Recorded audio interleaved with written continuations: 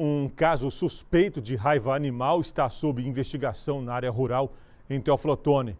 Ações educativas são realizadas na região para conscientizar os moradores.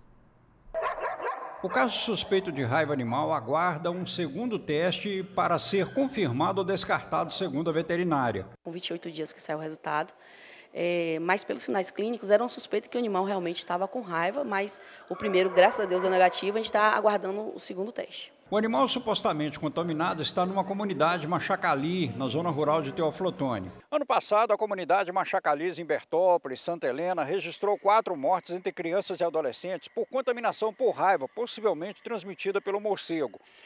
Esse ano, para evitar esse tipo de situação, as campanhas educativas começaram mais cedo, mas as equipes enfrentaram um problema: tornar a comunicação atrativa aos indígenas o setor de zoonoses em Teoflotone resolveu esse problema com uma solução bem simples. Com esses desenhos de bichos, Marla diz ter sido possível explicar aos indígenas a cadeia de transmissão da raiva.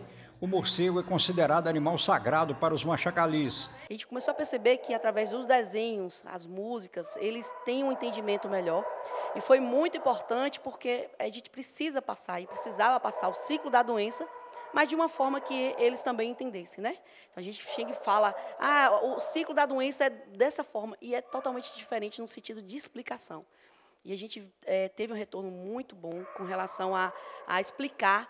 É, imprimimos os desenhos, fizemos é, as pinturas. Os desenhos são é, as, realmente quem participa do ciclo da raiva, que são os morcegos, que o morcego é, é, é um animal sagrado para eles, né? Então tem que ter todo um cuidado em explicar. A campanha educativa contra a raiva na comunidade indígena Machacali foi levada ao conhecimento do Conselho Estadual de Medicina Veterinária pelo setor de zoonoses em Teoflotone. E a receptividade foi tão boa que pode ser adotada para outras doenças em outras comunidades. Com a facilidade de entendimento, os machacalis passaram a registrar o ciclo de contaminação da raiva dos bichos para os seres humanos com celular.